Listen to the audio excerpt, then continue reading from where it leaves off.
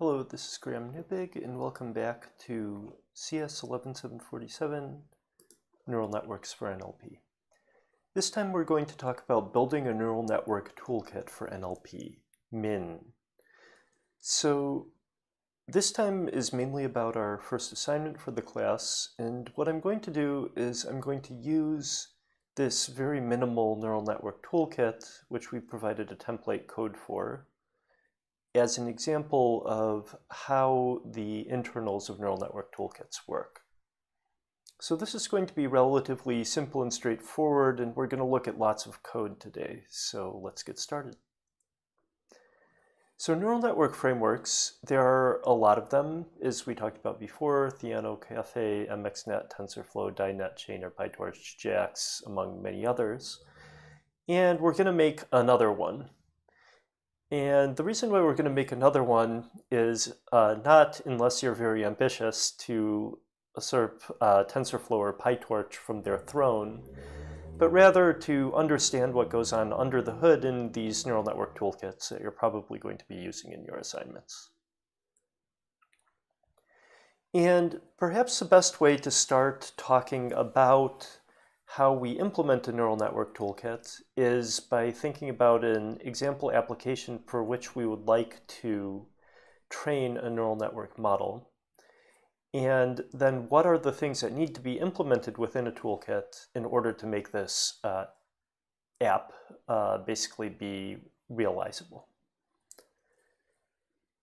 And so for example, uh, we talked about the deep CBOW model uh, several times before, where we basically look up word embeddings, we sum them together, we run them through a couple layers of not, uh, affine transforms and nonlinearities, and then finally calculate our scores. But on a more abstract level, if we think about what the algorithm sketch for a neural network app's code looks like, it's basically uh, we create a model so we uh, set the model parameters that we're going to be using. Then for each example, we create a graph that represents the computation you want to be doing, calculate the result of that computation, and if we're training, we perform back propagation, and we update our parameters. So in a neural network toolkit, Almost every modern neural network toolkit uses a special purpose uh, numerical computation backend. Uh, sorry, general purpose. And for example, for PyTorch or TensorFlow, these include things like MKL, uh, the Intel Math kernel library for computation on CPU, uh, cuDNN for computation on GPU, or custom written kernels. And there's many others, uh, other libraries that you could be using. For minnn, we're going to be using a numerical computation backend called NumPy that a lot of people are familiar with, or CuPy, a version of this that runs on GPU. So the way NumPy works uh, is basically you can create uh, arrays of numbers like A and B here, and then you can calculate operations between them. So np dot dot is basically a matrix multiply, multiplying these two matrices together. And the result of this would be uh, the multiplied matrix. These numerical computation libraries usually support many, many different operations, and that's kind of what's good about them. You know, if we want to be multiplying together matrices or we want to be summing their dimensions, we want to be doing various things like this, they allow us to do all of this. So they can be very flexible. And as I mentioned before, CuPy is a clone of NumPy that works on GPUs, so you might want to use that if you want fast computation. So the underlying data type that we use in implementing a neural network is a tensor. And a tensor is basically an n-dimensional array, so this could be anywhere from essentially uh, zero dimensions, a scalar, uh, one dimension, a vector, two dimensions, a matrix, or three dimensions. Starting at three dimensions, we start saying three-dimensional tensor, four-dimensional tensor, etc., cetera, et cetera. But all of these are, are tensors, so we have an underlying tensor data type that we use for this. The implementation that we have in minnn saves both values and gradients of these tensors. And the reason why is because, you know, as we've talked about several times before, in order to calculate uh, the parameters of a neural network toolkit, you need to be calculating gradients with respect to a loss function. So we implement it in this way. Basically, each tensor is responsible for knowing its values and gradients. So where exactly do we use tensors in a neural network application? This is one example, and tensors can basically represent parameters of the model. So they're essentially parts of the model that we would like to be learning. And they can also represent intermediate values. So for example, the values that we look up or the values that we calculate through our multiplications, affine transforms, etc., etc.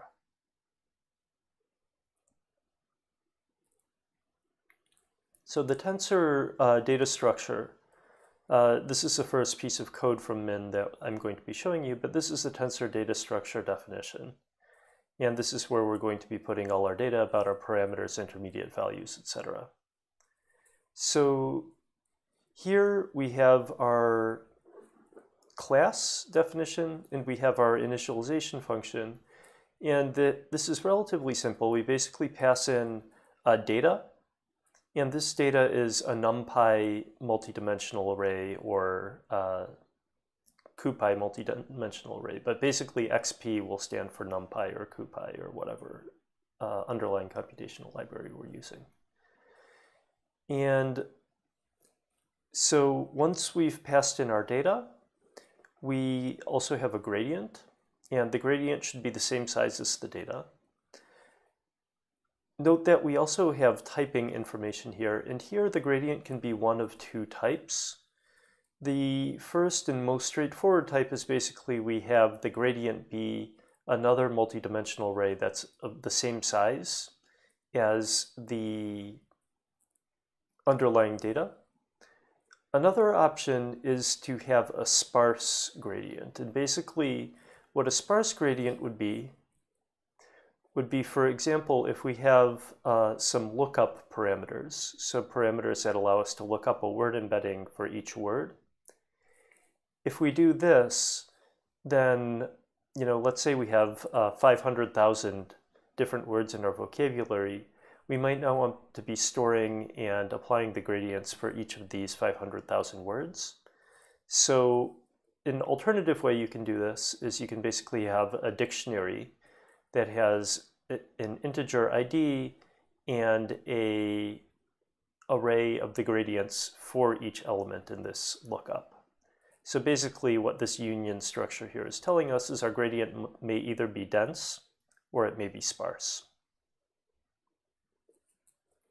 Another thing that we keep track of in our tensor is which operation resulted in this tensor uh, coming into existence.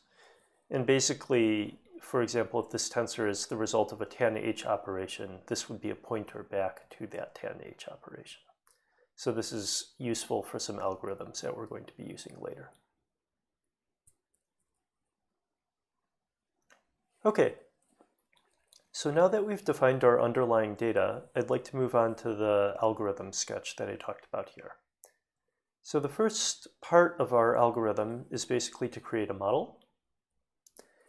And this is an example of some uh, model creation code in our Deep CBOW model in particular. So this is in the app code.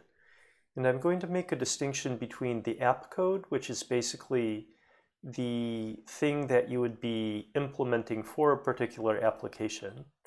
So in this case, our Deep CBOW model. And the distinction is being made with the backend code or the neural network toolkit code. And the neural network toolkit code is basically what we have implemented in minnn or PyTorch or TensorFlow. So in most cases, you know, if you're just using PyTorch, you'll never touch the backend code, but you'll be writing lots of app code. But in this particular assignment that you're going to be doing, you're going to be implementing the backend as well. So anyway, looking back at our app code, we basically have an embedding size, a hidden size, a hidden layer. You've seen this from previous classes. And we add parameters. So we add parameters where we have the number of words and the embedding size. So this is kind of our, our embeddings, our word embeddings. Also, we have a weight matrix for each of the hidden layers. So basically this is a weight matrix, uh, hidden size times uh, embedding size if we're in layer zero, or hidden size if we're in a, a future layer. We also have an initializer defined here. And I'll talk about what this initializer Xavier uniform means in a second. And then we have one of these uh, values for each of our hidden layers. And then finally, we have a weight matrix for our softmax, which also um, is going from the hidden size to the number of output tags that we want to predict. And we're also going to initialize this in a similar way.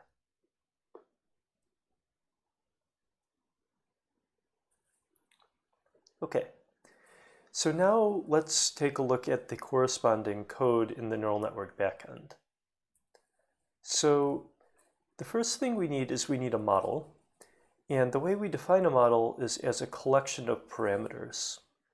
And the collection of parameters is essentially a list of all of the parameters that we have in our model. And so in this particular case, this would be uh, a list of our embedding, uh, all of the hidden um, layer weight matrices, and then our softmax matrix. So we would have, you know, if we had two hidden layers, we might have four uh, parameters in this list.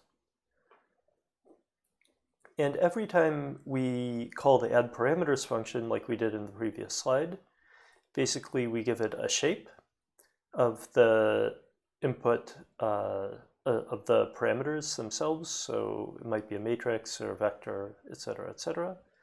We have our initializer, and then we have all the arguments to our initializer.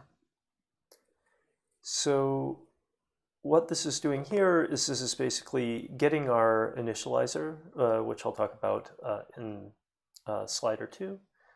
And then we initialize a new uh, set of data for our parameters. So uh, we do kind of random initialization, etc. And we create a, a, parameter object here. So this the parameter object is basically a tensor. And then we append these parameters to the list of parameters that we have here. So pretty simple stuff. You know, we, we set it in the correct size, we initialize it in some way, which I'll talk about in a second, and then we add it to the list of uh, parameters that the model has. For parameter initialization, this is actually something quite important in neural networks that I've glazed over a little bit uh, up until this point. So neural networks, one of the nice things about them that I've talked about is that they allow you to learn various features that capture characteristics of the input, essentially. But in order to do so, neural nets must have weights that are not identical. Otherwise, they'll learn identical features. So let's say we did the really simple thing and we initialized all of the weights in our neural network to zero, or all of the weights in our neural network to one, for example. Essentially, what would happen is the gradients that flow into each of the rows or columns of the weight matrices would be exactly the same. So all of the features would essentially move in exactly the same direction during training. But that's not what we want, of course. We want some features to represent, like, for example, negation, while we want other features to represent animacy or um, the combination of negation and positive sentiment or something like this. So basically, you know, each we want each row in our parameter vector to represent a different thing, but that won't happen if we just initialize weights in the simplest way possible. So one way that we could do this, and one way that actually is often used in neural networks, is just to uniformly initialize the weights in some range. So for example, we pick a random weight uniform between minus 0.1 and 1. However, there's a problem with this. Depending on the size of the parameter matrix that we're initializing, the inputs to downstream nodes or the inputs to downstream functions may become very large. So like let's say we had a parameter matrix of size 1000 and the average input was uh, kind of on the scale of one. The variance of the outputs or the kind of span of the outputs could be within, you know, a thousand times 0.1 times 1. So it could be, you know, within the range of 100 or so. And this is a very large range. And if we're using, for example, a function like the hyperbolic tangent function as an activation, most of the time this function would become uh, very sat saturated and become very close to 1 with very little gradient, very uh, close to minus 1 with very little gradient, etc., etc. So basically the idea is we don't want the scale to get too out of control uh, for learning purposes. And so instead, there are some other uh, initialization techniques like Glorot uh, initialization, which is also called uh, Xavier initialization or He initialization. And basically both of these are based on the size of the matrix. So take, taking the example of Glorot initialization, um, basically what you do is you take the square root of 6 divided by the matrix's input dimension plus output dimension. And this is kind of motivated by the range that neural network parameters need to be in to be passing good gradients back uh, during learning. So um, implementing this uh, this Glorot initialization or Xavier initialization is one of the things that you will uh, try to do during the assignment. Okay, next I'm going to be talking about um, graph creation and calculating the results of computation. And notably, we're going to be talking about creating a graph and calculating the result at the same time. And this is a distinction between uh, greedy computation, uh, where basically you do both of these at the same time. However, these two steps could also be separate. Uh, they could be, in, in the case that you first create the graph and then calculate the result afterwards, this is called lazy computation. And uh, PyTorch, uh, for example, uses greedy computation uh, whereas uh, Dynet, for example, the toolkit that I created uses, um, or I, you know, helped create, was uh, uses lazy computation, and uh, TensorFlow has an eager mode where you can do greedy computation, but it also has a, a other mode where you can use lazy computation. So it, it essentially supports both, but um, yeah, this is a distinction that's maybe interesting to, to think about a little bit. But for the purpose of this assignment, we're going to look at uh, greedy computation like PyTorch. Okay, so how do we create the graph and calculate the output? So basically here uh, we reset the computation graph. And the way resetting the computation graph uh, what resetting the computation graph does is it basically clears out all of the memory that you've been using so far, uh, removes it. And so then within the application code, now we've cleared out our computation graph, so then we go in and calculate all the things we need to calculate. So if we're talking about a uh, bag of words, uh, deep CBOW model, like I've been using as the example, uh, we have our word lookup, we sum all of them together, we uh, step through and do matrix multiplication, adding a bias, uh, calculating the tan h nonlinearity, and then finally calculate our output scores. So this is familiar, we've talked about this before. And so what does computation graph look like? So in many neural network toolkits, uh, the computation graph actually isn't made explicit and you don't look at it very much in, in app code. So basically, um, here we have reset computation graph. Uh, you actually don't ever really do this in PyTorch. The computation graph is kind of implicitly created uh, when you import the library. And so we have this global computation graph that we can be using for uh, keeping track of our calculations. Um, and then down here we have uh, essentially a class method uh, for all of computation graph that's get CG, and it basically will create a computation graph if we don't have our computation graph already. So um, yeah, this is, uh, that gives us our computation graph. And once we have our computation graph, uh, basically the computation graph is a list of operations. And operations are, you know, any of the things that I just talked about before, like lookup, summation, uh, multiplication, etc., etc. And then within the computation graph, we also have a red reg op, uh, essentially uh, register operation function here. And what this does is it essentially sets the op uh, index to be the current uh, index uh, length of the ops uh, list, essentially, and then it adds it to the end. So basically what this does is it registers the op uh, into the computation graph.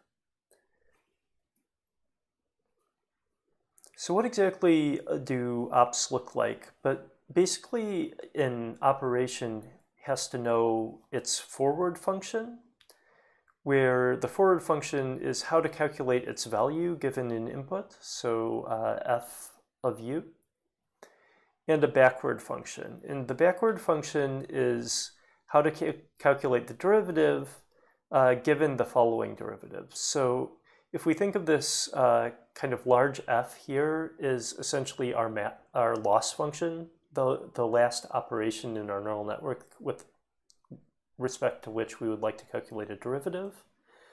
We assume that we are given this following derivative, and then we would like to calculate the derivative with respect to the input. Um, with respect to the input, essentially, uh,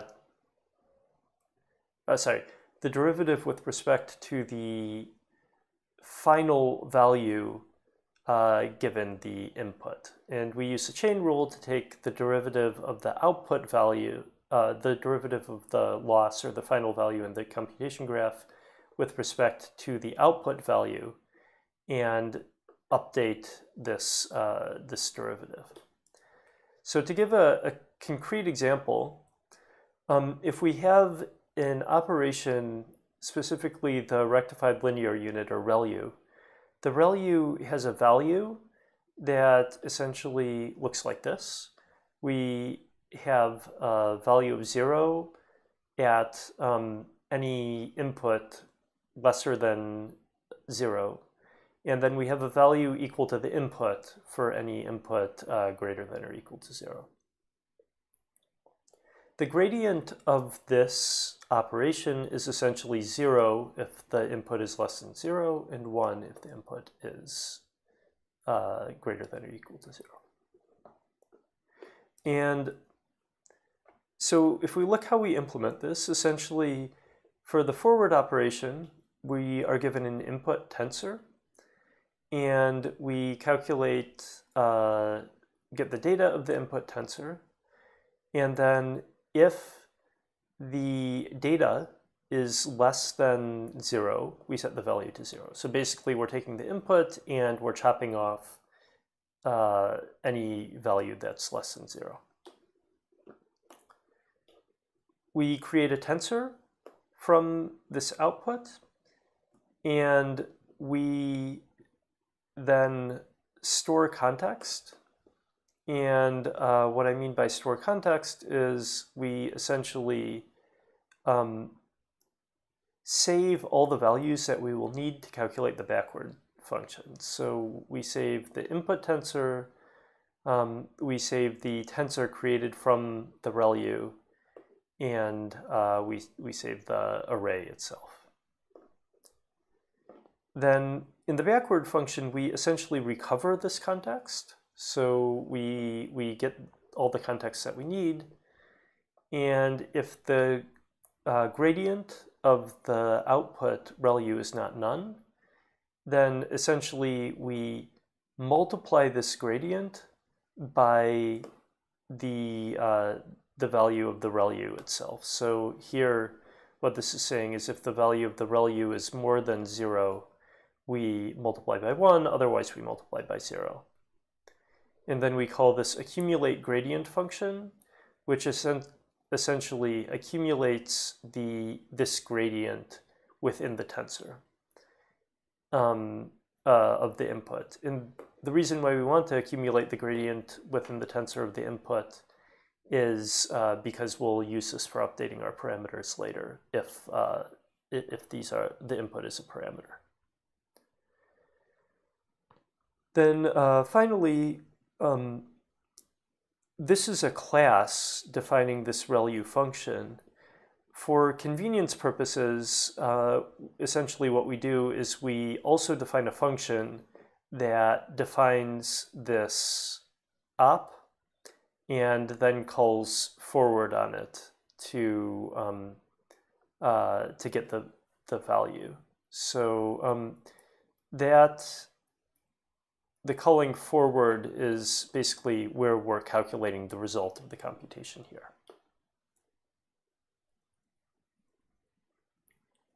Okay, so this is one example op. Um, if you're creating a neural network uh, toolkit, you'll want lots and lots of these ops. You'll want lots of different functions that people can use for uh, implementing neural networks, essentially.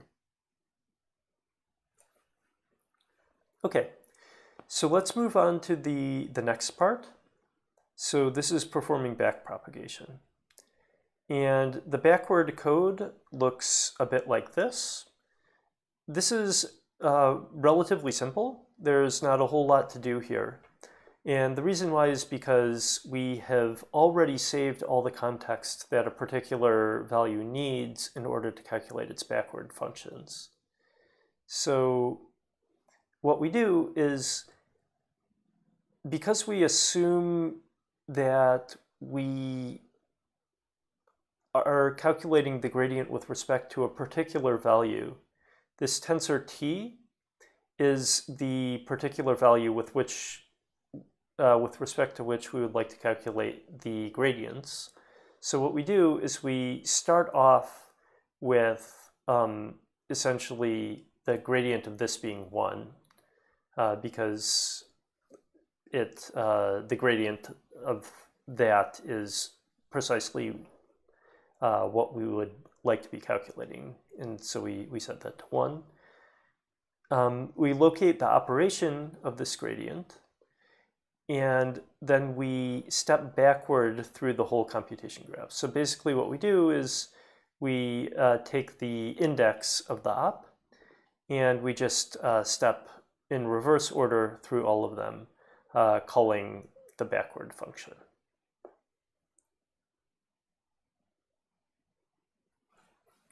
Okay, and then the final thing that we want to do is we want to be updating parameters. And we've already talked about this a little bit before. Uh, there's many different update rules, including simple SGD, uh, updating with only gradients, momentum updating with the running average of the gradient, Adagrad uh, updating down weighting uh, high variance values in Adam updating by, with the running average of the gradient. Down weighting by the running average of the variance. So I'm just going to show the, the very most simple update rule here, uh, but during the uh, assignment, we're going to ask you to up, implement the slightly more complicated momentum-based rule. And this is the SGD trainer. And the way it works is you first initialize it.